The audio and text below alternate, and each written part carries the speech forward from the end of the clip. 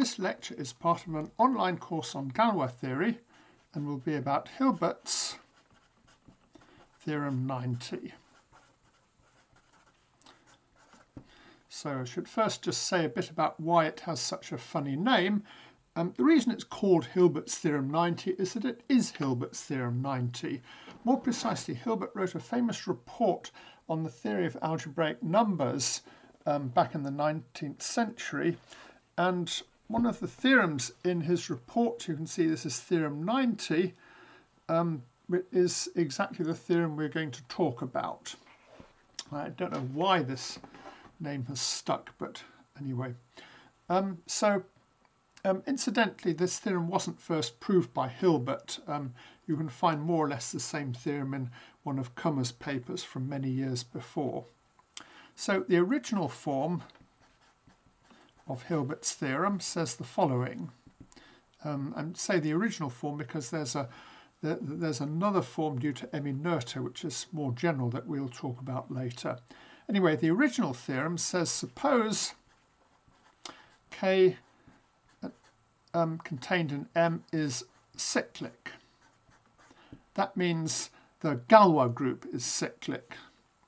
Um, then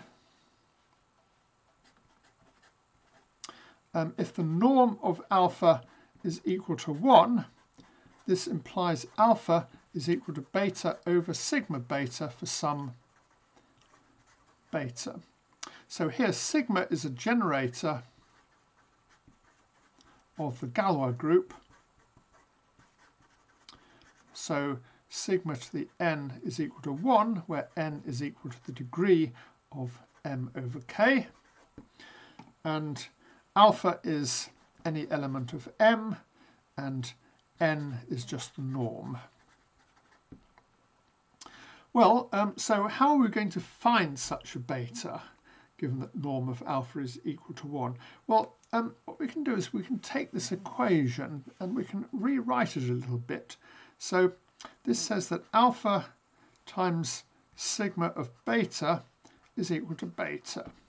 And now what you do is, is, is you look at alpha times sigma and you think of this as being a linear transformation from M to M, where you think of M as being a vector space over K, of course. Um, so sigma is an element of the Galois group acting, and alpha just means multiplication by alpha, but we're just composing them and thinking of them as being a sing single linear transformation. And what this says is that beta is a fixed point of alpha times sigma and also another key condition we need beta is not equal to zero otherwise you can't divide by sigma of beta. So we want to find a non-zero fixed point of this linear transformation. In other words um, something with eigenvalue 1 well, if we've got a group action, it's easy to find fixed points because we can just average over the group.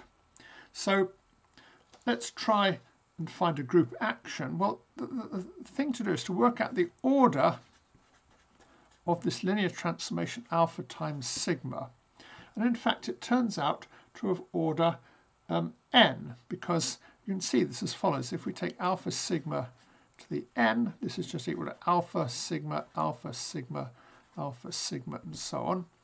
And now here, this sigma is um, acting on all these alphas, and this sigma is acting on all the alphas to the right, and so on. So if you work this out, it's alpha times sigma of alpha times sigma squared of alpha, and so on, times sigma to the n minus 1 alpha times sigma to the n. Now the sigma to the n is acting on whatever vector you're acting on. Now let's look at what's going on. Well, here this expression here is just norm of alpha, which is equal to 1.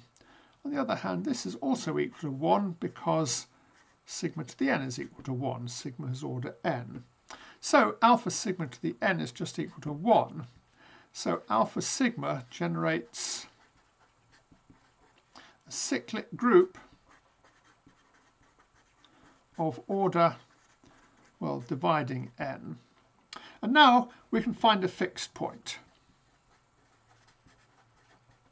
So to find a fixed point, all we do is we take beta to be theta plus alpha sigma theta plus alpha sigma squared theta and so on plus alpha sigma to the n minus 1 theta.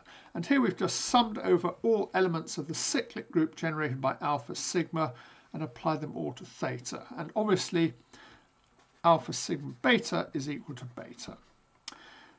Well, we haven't quite finished because there's a slight problem. Is beta non-zero? So all we need to do is to find some value of theta such that this is non-zero. And, you know, it seems kind of trivial, but if you try it a bit, it's, it's not at all easy to show that some theta is exists. I mean, it might be that this big linear transformation is identically zero. So we need to find, find some theta so that the sum is non-zero. And how can we do this? Well, there's a very useful lemma called Artin's lemma, which can be used to show this. So this says, suppose G is any group. And suppose sigma 1, sigma 2, and so on are characters of G. Well, what do I mean by character of G? Well, this means a homomorphism from the group G to the multiplicative group of the field M. This is more or less the same as a character um, in representation theory, if you're wondering.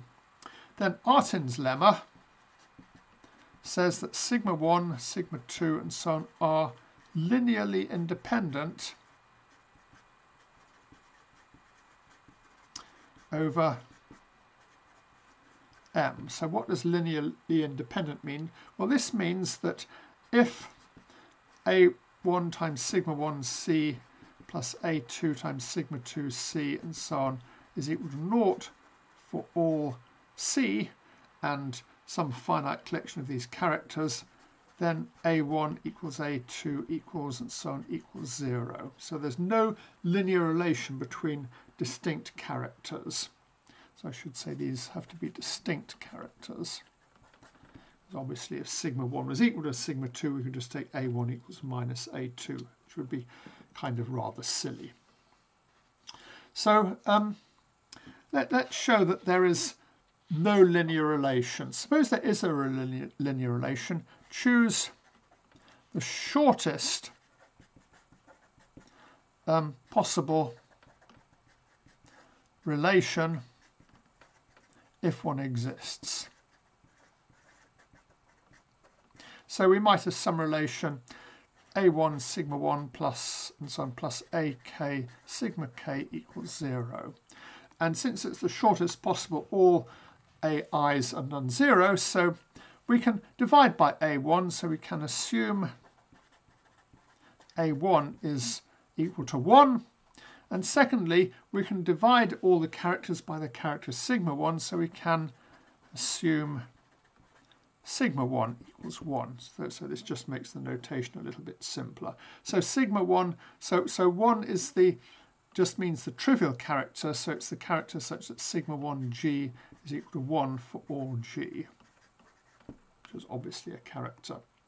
And now what this relation means is that for all c, we have c plus a2 sigma 2c plus a3 sigma 3c and so on is equal to 0. So this is just a1 sigma 1c, which is equal to c by our assumptions. And now we just multiply it by b.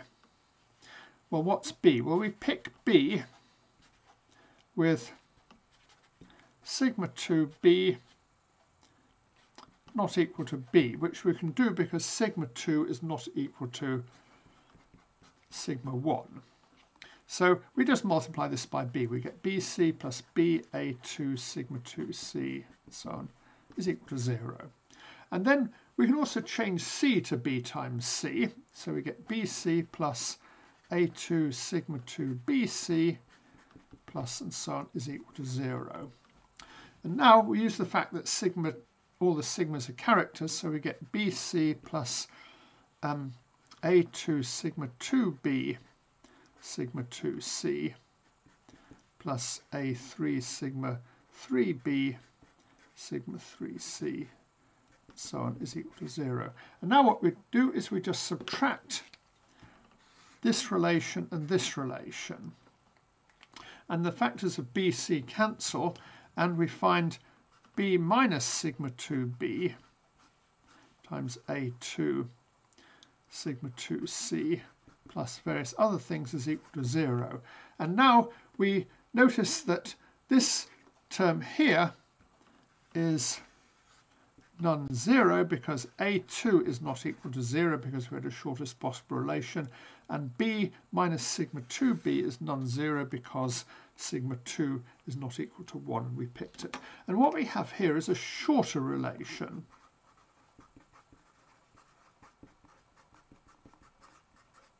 And this contradicts our assumption that we'd already chose the shorter relation, so no relation exists.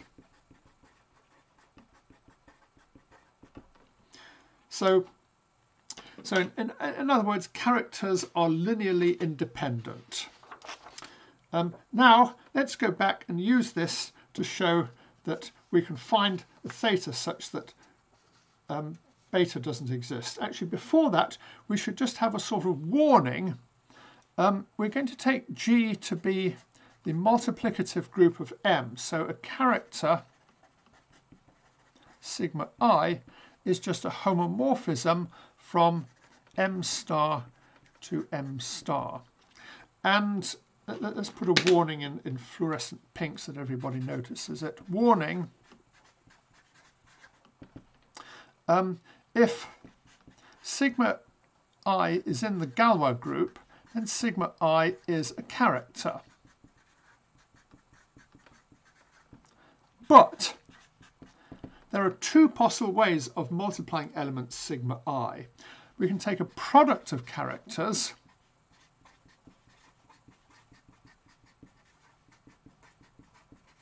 So if we've got any two characters which are homomorphisms from M to M, we can obviously just multiply them together and we get sigma i um, sigma j of x this is the product of characters is sigma i of x times sigma j of x. So this is a sort of pointwise multiplication. And the product of characters is not equal to the composition of elements of the Galois group. So composition of Galois group, instead of doing pointwise multiplication, we actually compose two maps here. So this would say sigma i sigma j x is equal to sigma i sigma j of x. So you see that this, um, this notation sigma i sigma j is actually ambiguous.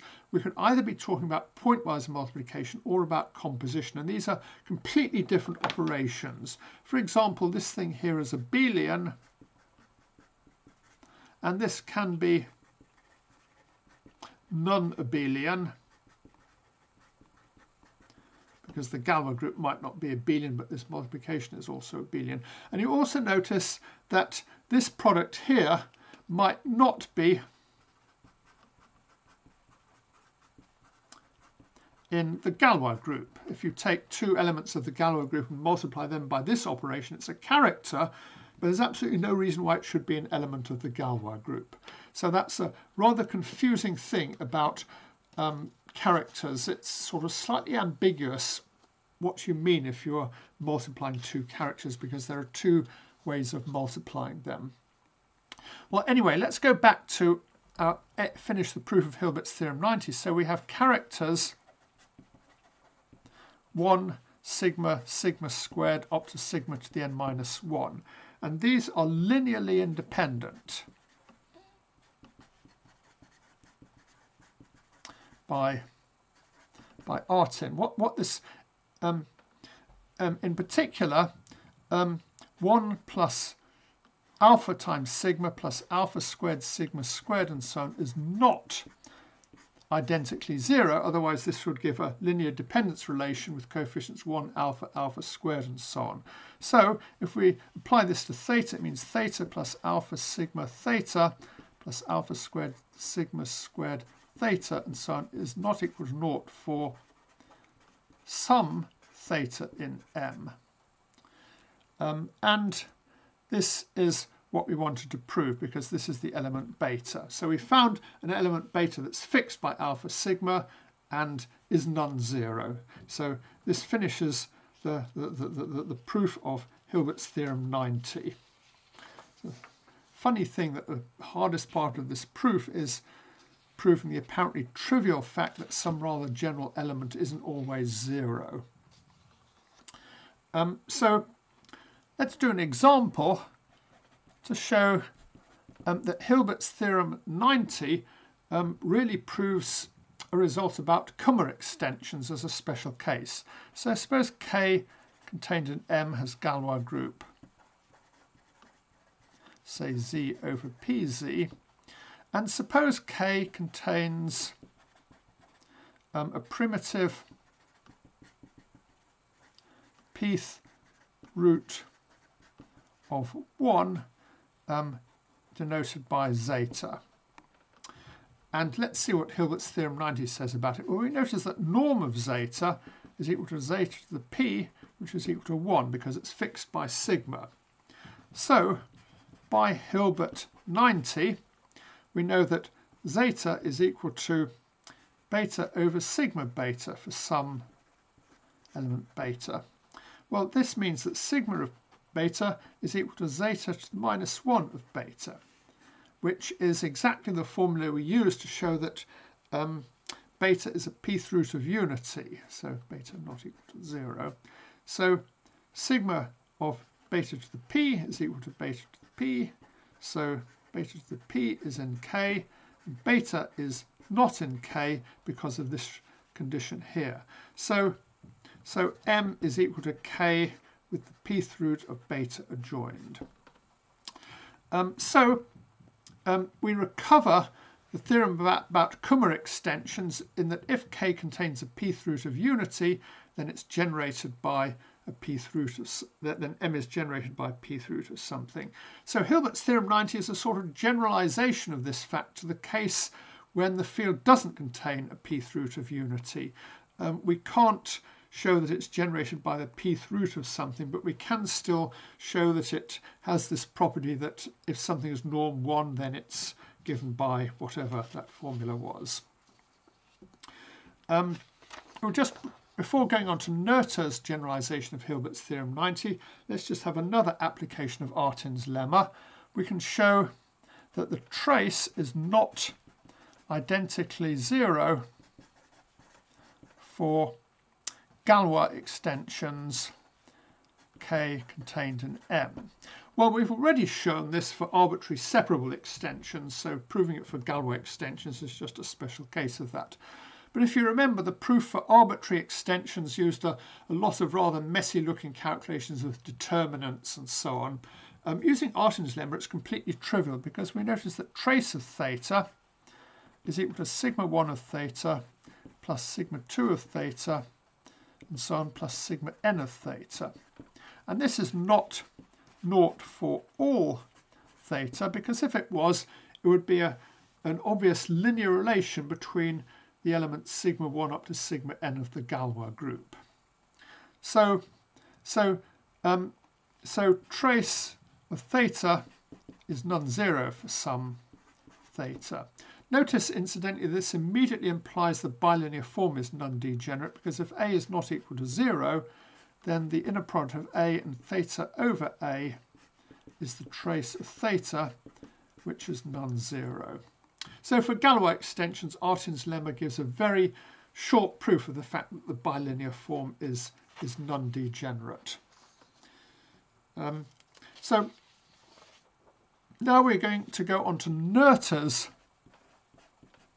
form of Hilbert's theorem 90 and life is really unfair because not only was Hilbert's original theorem 90 not really due to Hilbert, but Noether's version of Hilbert's theorem 90 is always called Hilbert's theorem 90 and everybody forgets about Noether, but whatever.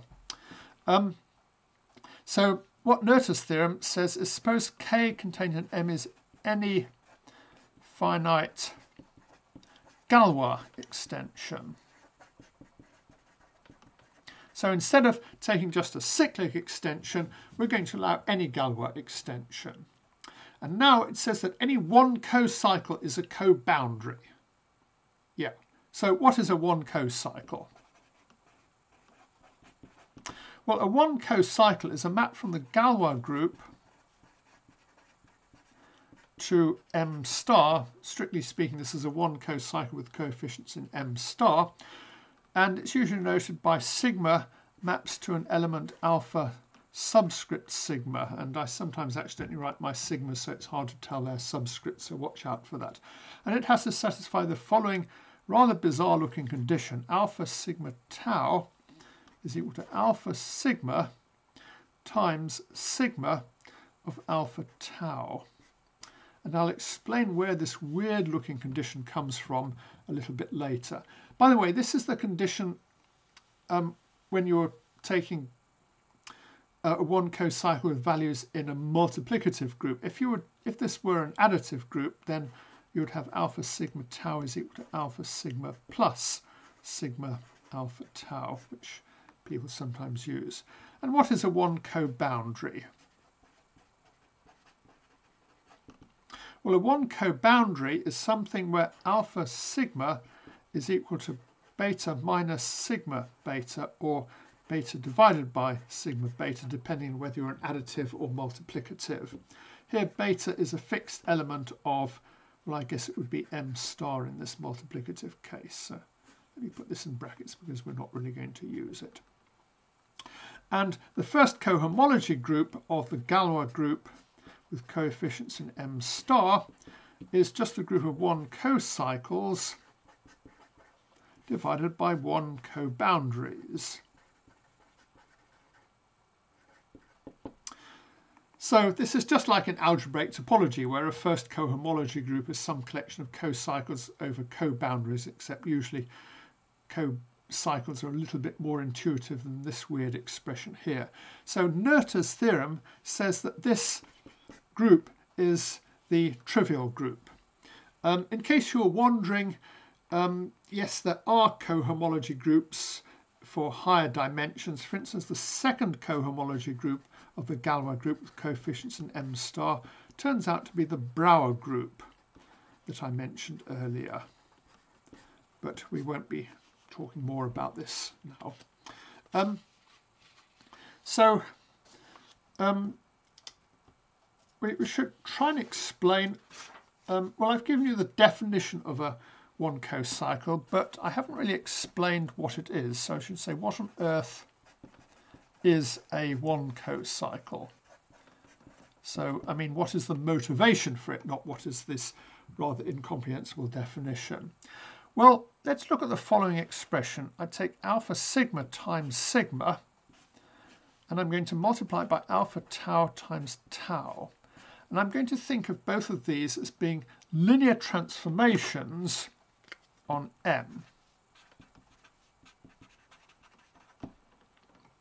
So, you know, sigma and alpha sigma are both linear transformations because this is a an automorphism of M, and we can think of this as multiplication by the element alpha sigma. And if I work out what this is, it's alpha sigma times sigma alpha tau times sigma tau applied to something in M.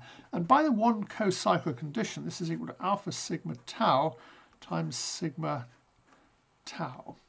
So in other words, the map taking sigma goes to alpha sigma dot sigma is, um, is a sort of action of the Galois group on M star, except it's a Bit of a funny action because it's an action on M star as a set.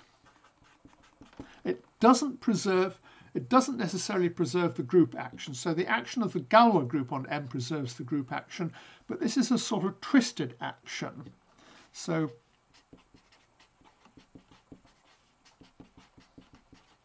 which doesn't preserve the multiplication. However, it still has the it, it, it, it's still an action of the Galois group on the set M.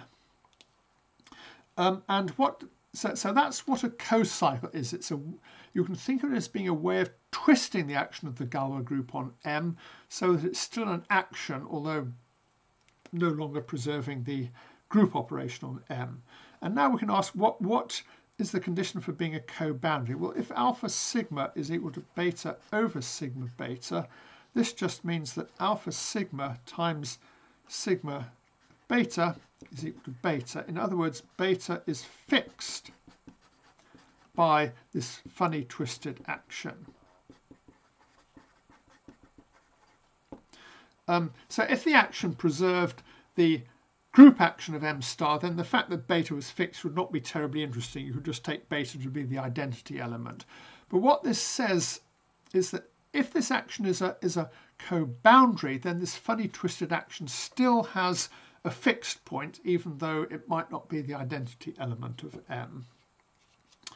Anyway, um, with this interpretation of a one co-cycle, Noether's theorem becomes almost trivial to prove. If, if you don't think of this as being a, um, a linear transformation, it's, it's really hard to prove Noether's theorem. So here's a proof of Noether's version of Hilbert's theorem 90. Maybe it should be called Noether's theorem 90 or something. So suppose alpha sigma is a one cocycle. Um, then we get an action of the Galois group on the set M star as follows, just by mapping sigma to the element alpha sigma times sigma. And we want a fixed point.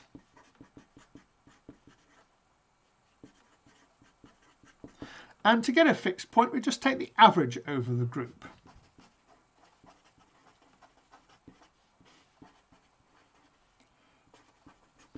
So we take an element beta, which is sum over all elements of sigma of alpha sigma times sigma of some theta. So beta is always fixed by the Galois group. Well, wait a moment. We just said that the this funny twisted action didn't preserve the group operation, and suddenly we're taking an average over the Galois group, which implies it does preserve the group operation. So what's going on? Well, this twisted action, um, sigma goes to alpha sigma dot sigma, does not preserve